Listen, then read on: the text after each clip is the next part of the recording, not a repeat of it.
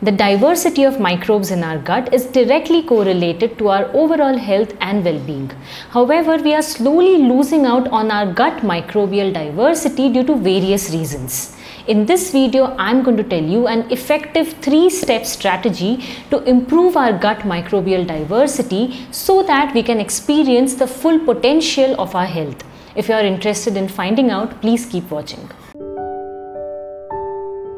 Hi everyone, my name is Nirupama. I'm a PhD in food science and a certified nutrition coach. Along with making YouTube videos, I also offer personal health consultations. If you are interested in getting in touch with me, I'll leave a link to my website in the description box. Gut microbiome refers to the microbial population of our gut. Initially, this microbial population was largely considered to consist of bacteria, but we now know that others like fungi, viruses, and parasites are also normal inhabitants of our gut. We know that there are about 300 to 500 bacterial species alone residing in our gut. It's safe to say that there is a huge diversity of microorganisms in our gut. A growing concern has been the loss of this microbial diversity, which means that some species of bacteria and fungi which were originally present in our gut are now no longer found. While a lot of the gut microbial diversity has been lost over thousands of years, some of this loss has happened more recently with city dwellers having lost the most gut microbial diversity. Since diversity of gut microbes is directly correlated to our health, loss of microbial diversity also means loss of adequate nutrient absorption and metabolism, loss of hormone function, loss of immune function, fat storage, poor metabolism and even poor sleep sleep. It is also important to understand that when we lose gut microbial diversity, we are also losing on the opportunity of vertical transmission, which means that we now have fewer species of microbes to pass on to our future generations. This unfortunately also increases their risk to a variety of health problems. Think about it. Our generation is already witnessing a massive explosion in a various number of chronic health conditions. Obesity, thyroid problems, diabetes, high blood cholesterol, cholesterol, PCOS in women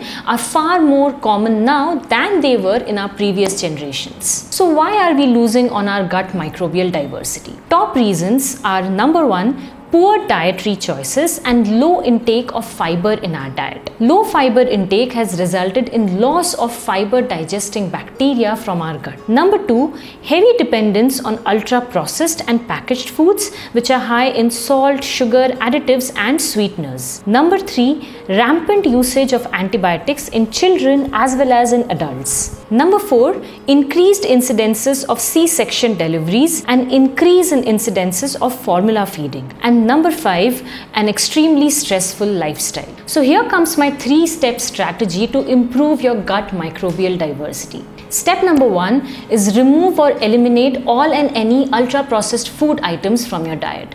These include biscuits, fruit juices, flavored yogurts, industrial breads, salad dressings, ketchup, ice creams, confectionaries, and the list goes on.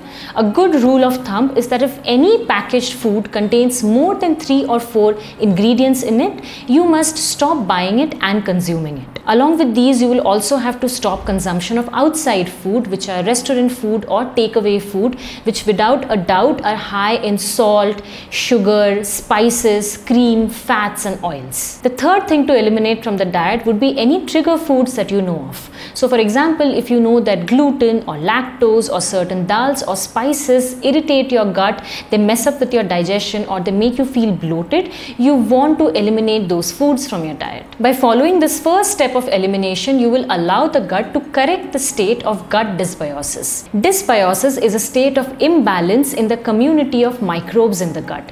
In this state, the composition of gut microbes changes, the diversity of gut microbes goes down and there is an increase in number of bad bacterial strains in the gut. Removal or elimination of ultra processed food, outside food or takeaway foods and your trigger foods will further prevent the growth and proliferation of these bad guys in your gut. Once this step of elimination has been achieved, the next step would be to revive and recover your gut microbial diversity. For this, you've got to do three things. Number one is to focus on a plant-based diet. A plant based diet of whole grains, legumes, nuts, seeds, fruits, and vegetables will help recover your gut microbial diversity like nothing else. So, if you're somebody who's a heavy meat eater, you might want to shift your focus on a plant based diet for some time. Research has shown that a plant based diet of 8 to 16 weeks can significantly improve the composition of favorable microbes in our gut. Number two would be to focus on prebiotic foods. Prebiotics serve as food for our gut microbes.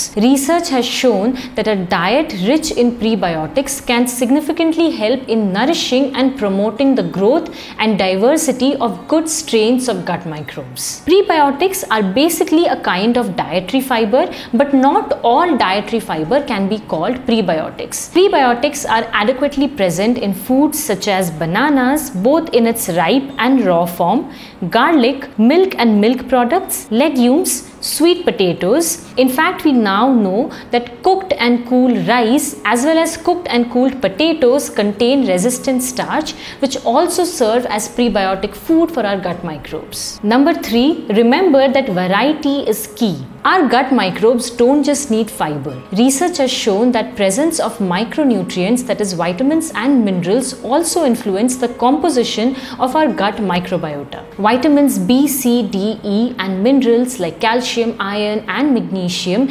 influence the growth of beneficial gut microbes. So to ensure good gut diversity, we must ensure a variety in our diet, variety in terms of the grains that we consume, variety in terms of the nuts, seeds, fruits, vegetables and legumes that we consume. If you are somebody who's a picky eater and your diet just consists of a few selective food items, you're killing off the diversity of your gut microbes. Step number 3 is reintroduce. Once you have eliminated ultra processed, deep fried and packaged foods from your diet and you have helped revive the diversity of gut microbes with a variety of plant based foods, it is time to reintroduce good bacterial strains back into your gut. This can be done by using probiotic cultures that are available in the market in the form of supplement or by incorporating enough probiotic rich foods in your diet like curd, kanji, kimchi and sauerkraut. The truth is that even if you consume a probiotic supplement or probiotic foods, not all the bacterial strains in this supplement or food will be able to colonize the gut. Some will just pass through the gut, some will transiently colonize the gut and only a few will be able to establish long-term colonization in the gut. To improve the chances of colonization by these beneficial microbes,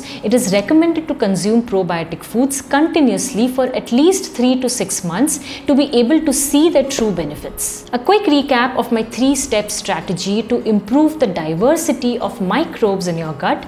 Number 1 would be to remove or eliminate ultra-processed, outside and trigger foods. Number 2 would be to revive or regrow the diversity of microbes in our gut by consuming a variety of plant-based foods and prebiotic foods. And number three would be to reintroduce beneficial strains of bacteria by the use of probiotics. Now these three steps are not mutually exclusive and they can be followed at the same time. That's all from me for today. I hope this video was useful and that you would have got some insights on how to improve your gut microbial diversity which is so important for improving our overall health. I'll see you guys in my next video. Take care until then. Bye.